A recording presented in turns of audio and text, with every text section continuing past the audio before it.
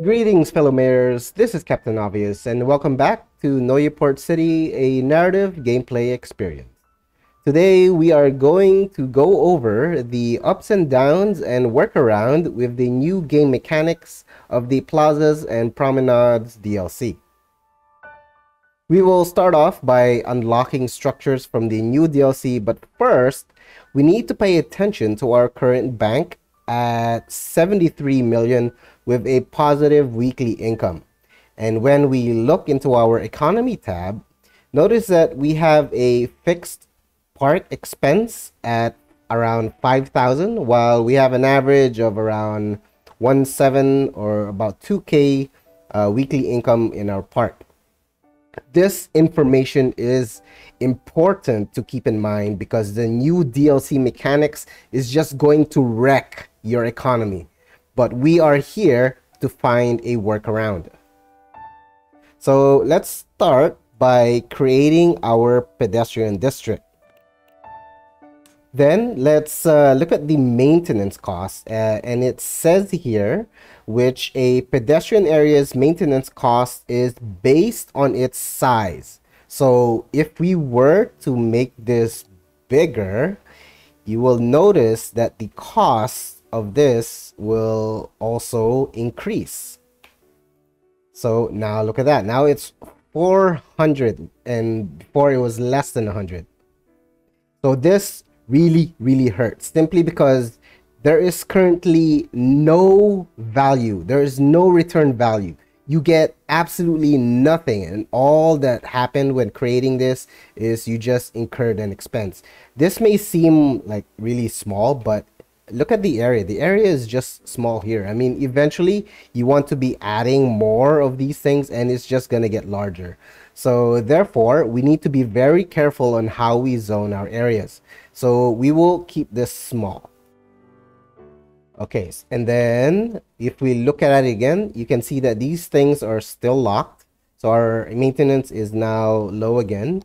And then, so this opens up this, which is a small pedestrian area uh, service point. So when I plop it down, now if we look into it, we have unlocking uh, buildings here. So these are the service points. We simply just need to have uh, services picked up. And then if we scroll further down, there are plazas to unlock. And then there are zone buildings. And lastly, there are the tourism buildings, which is extremely hard or difficult to unlock.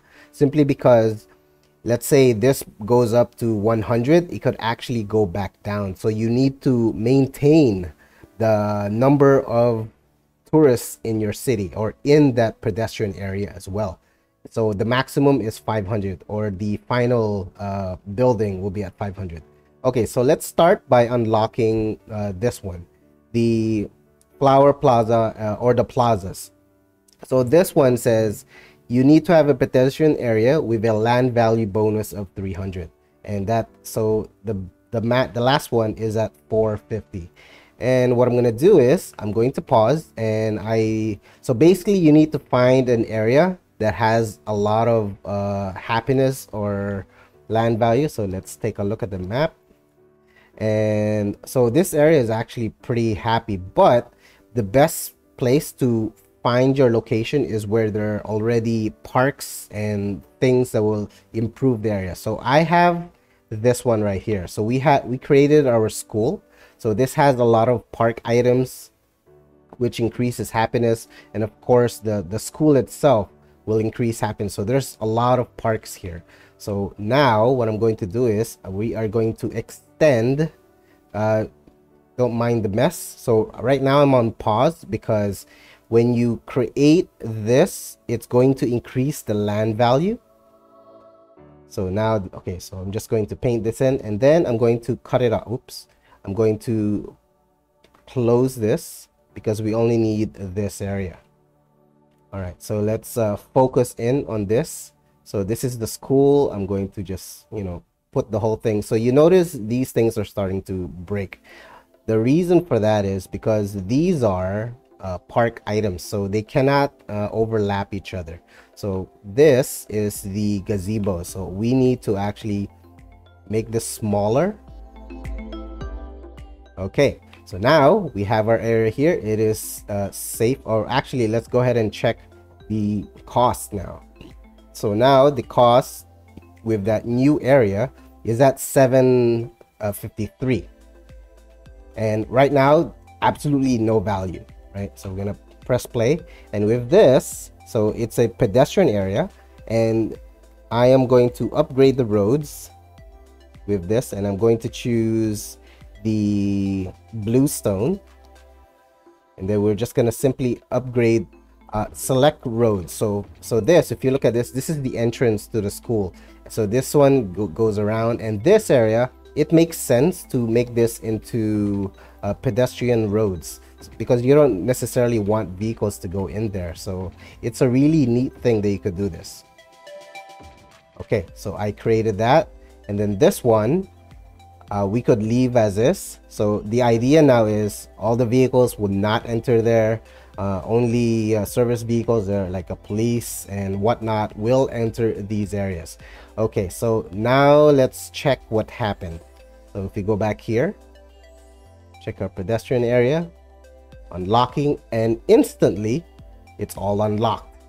Why? Because let's check the area. So it's a uh, land value bonus um, let's check our land value it's at pretty high and look how green that is that is the brightest green in the whole map simply because uh, the pedestrian area increases uh, land value and with all the the buildings here that increases happiness it totally maxed out. So we were able to instantly unlock that building. All right there's something else i want to do. I want to upgrade these uh, uh these trees. So and i will choose just putting a bush instead because i don't necessarily want it to be too high or too tall because i want to be able to recognize the area. Okay so now uh, again the question is what value did we get from this? This looks more aesthetically pleasing and it's it makes sense where there are no vehicles running here. So it looks really neat but we still have that insane expense. We still have that expense of 753 this still doesn't seem like a lot but remember we only made one area. You want to have fun with these with this dlc so it's going to uh, increase even more. And then you're gonna have to ask yourself again what value does it have in return other than aesthetic? All right in any case let's go ahead and do the next thing to unlock. So if we look down uh so this is not moving at all which is fine because there is nothing there. There's nothing here to pick up. Um so we go down to zone building so we're going to start with the residential zone landmark. So what you need is 2000 residents living in uh, residential buildings with pedestrian streets. So 2,000. Uh, I'm gonna do two things. One is I want to upgrade uh, these buildings. Uh, I find them a little too tall and it's it starts to overwhelm the area. This is my focus. This is my main focus. And these guys are just trying to hog attention with their height. So I'm going to change uh, these into the mid-rise wall-to-wall building. So we are going to create a new district. So I'm going to create, oop, that, that is a pedestrian area. We're going to create a new district. And then from here, we are going to change the area. So the residential. So first, you, you need to know what, what type is here. So this, this is local and organic uh, commercial area and we have just standard um, residential area and that's the one that I want to change and this I want to maintain as is so if we look back here I am going to change this into wall-to-wall -wall residential and then we're going to maintain uh, the local and organic produce. And if there's any offices we're going to make that uh, wall-to-wall -wall as well. Okay so we have that established. And now all we need to do is simply overwrite them. So if i go if i do this they will eventually dezone like so and they would replace the area uh, the thing about this is you don't want to do this too quickly otherwise you're going to have a massive death wave so I'm going to do this slowly and I'll get back to you when we have uh, the whole thing finished. So before I go too far, notice our populations at 34 we started at 35 and of course when we dezone it's going to take a while for new sims to move in. So we're yeah we are really going to take a hit and also our income is going to drop because the the the previous buildings are already earning income and they are a relatively high level. So now it's basically starting from the beginning. So this is why i'm doing this slowly yet surely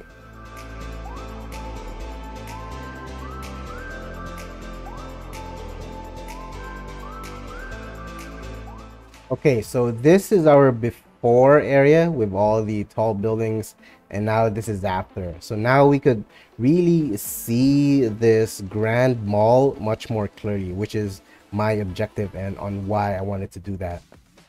Okay, so now what what did we do? We we use the wall-to-wall -wall, uh, buildings. However, they're not actually placed uh, side by side. So but that's actually fine because this is not like the European buildings where it's just completely flat. This actually has a design on the side, so it's it's actually okay if it it's not uh, a completely flat road. Uh, it could be curved and it will still look fine. So this still works uh, as intended. So it really looks neat from the side as well. Okay, so that's uh, part one, and now we are going to improve this thing where we are we are going to unlock uh, the first one, residential zone. So what I'm going to do is first we are going to increase our area here, and I want to do selective areas. So for example, so the one benefit of uh, the new DLC is you can control the the routes of your uh, your vehicle. So for instance, here, I'm going to zone just this area. So this will be our new uh, area for, uh, oops, new area for pedestrians. And I only want this road. So from here, we are going to upgrade that road and we are again going to use the bluestone pedestrian. And there we are. So this is one part of it and then I am going to move up here as well. So the idea of this, of course, vehicles can no longer take this. Instead, they're going to go around here. So I kind of controlled where I wanted vehicles to go. So we're going to do the same thing here. Uh, let me pause first because I don't necessarily want this to be affected. So uh, we're going to go across Okay, so my target area is just down here. I don't want this to be affected because this is going to be our main road over here. So this is where vehicles may actually drive on and this will be our pedestrian. So I need to make sure that this is unaffected and we are keeping it paused because the land value of this will spike up and then later on we may get alerts where the land value is too low and then they will abandon. So it's important to make your zones while it's paused. Okay, so let's just continue zoning.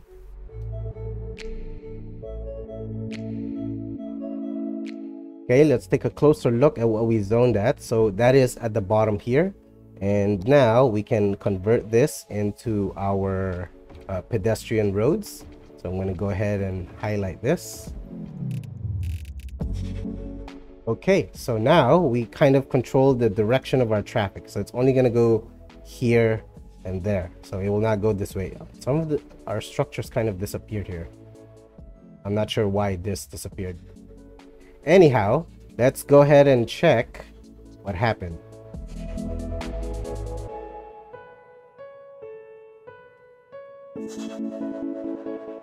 Interestingly enough, our commercial zone is the one that's affected when I was trying to target residential. That's uh, ironic. Well, hey, at least we got one. So now we need to get the residential zone mark area. If we look closer at the fine print, it says in a pedestrian area with a residential area focus. Keyword focus. In our initial pedestrian area, we intended to unlock the residential zone landmark, but the district actually has more commercial than residential. So as you can see here, it's definitely much more commercial. Therefore, in order to unlock the residential, we will create a new pedestrian district. So I will just create one here and then we will put in that service building. And while the game is on pause, I will create our district area here and I will target where all our residential are. And let's not forget to clip off the things that we don't need. So if you look closer, I made sure that only this area will have our pedestrian streets. And the reason why I did not, did not put it here is because we have this cemetery and they need to be on a road, otherwise it will not function. And let's also take notice of the level that they are. They are level 4 and the reason why you have to keep it on keep it on pause is if you keep it on play while creating your district, everything it hits, it will increase one level more or less. All right, so I made that and now let's actually put in our pedestrian roads. I'm going to keep it on pause so you can see how inst instantaneously it will upgrade. Okay, so this looks right. So you see there's errors, but that's because the game is on pause. All right, so I'm going to click on this. So if we look, oops, so this one is not even active. So we can, we'll use this one. So we can see as soon as I click on pause, this should unlock. All right, ready? Three, two, one and it's going up. There you go.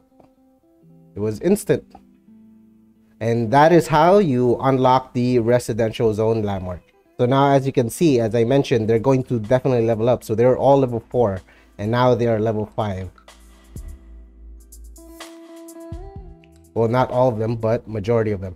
Okay so let's move on and unlock the office uh, zone landmark Guys, if you are enjoying the video so far, don't forget to like, subscribe, and leave a comment. It's the best and easiest way to support content creators and it encourages them to continue making more videos. Again, let's read the fine print.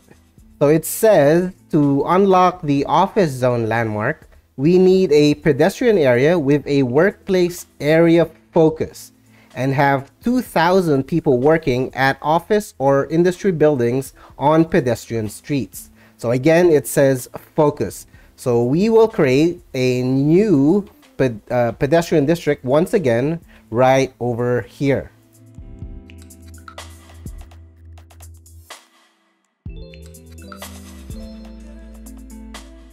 Okay, so we created our new pedestrian area. And let's not forget to actually upgrade the roads. Okay, so we're not really focusing on making it fancy. We just want to unlock the landmarks. So uh, the reason why we are using the generic industries is because they have more workers compared to offices. So I'm going to zone just a few offices here so you can see the, the difference.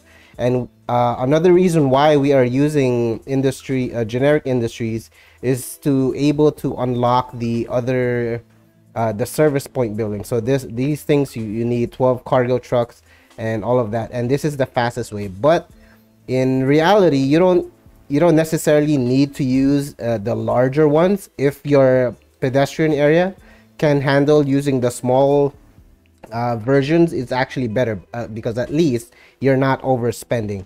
All right so we're just going to wait for this to upgrade. Let's actually check out its progress. So we have some there and we simply just need to continue to make this bigger and increase it as needed. So i'm looking at this. So you're gonna see me uh, increasing it until we eventually have this unlocked. I noticed these alerts or yeah we have alerts high cargo traffic and so let's go ahead and check if we are able to unlock a few. Okay this one's nearly unlocked so we just basically need to add more so that this doesn't appear. Okay so this is unlocked. Garbage is yet to unlock but that's completely fine. So this actually has a garbage facility. So if you look at this small pedestrian area it has garbage trucks and so far we don't really need that many so it's not a huge concern. It's okay if you don't unlock it.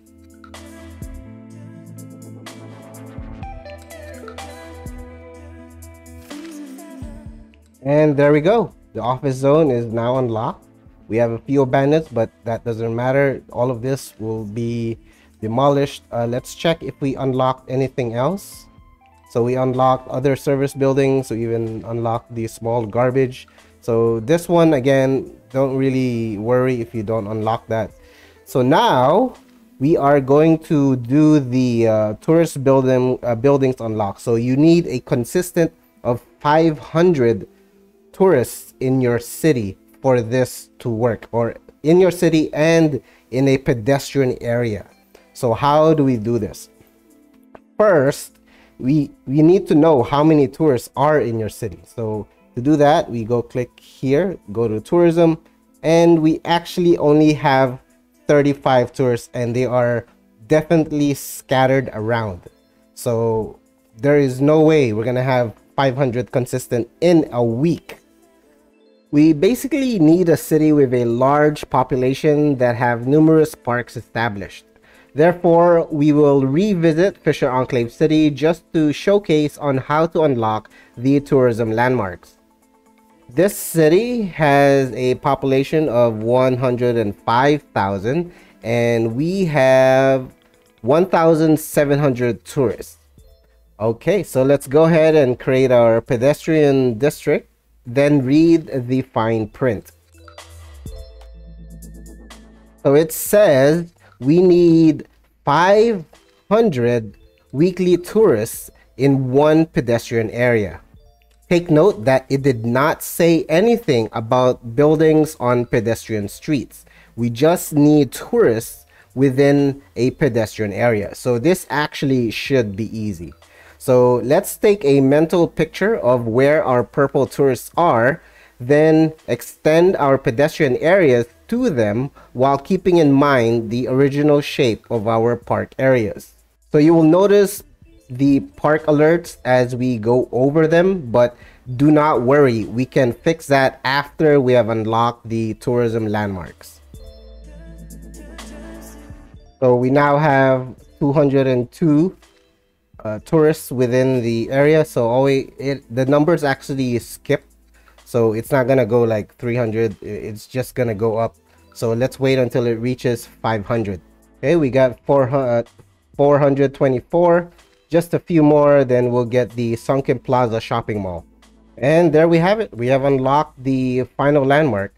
So of course we want to repair the damage that we've caused. So i'm going to pause the game and I know how my districts look, so I'm going to go ahead and paint it back in.